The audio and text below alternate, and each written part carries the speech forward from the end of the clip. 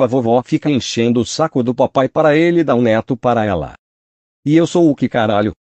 Um bichinho de pelúcia. Sou o neto mais lindo que ela vai ter. Aceita que doe menos.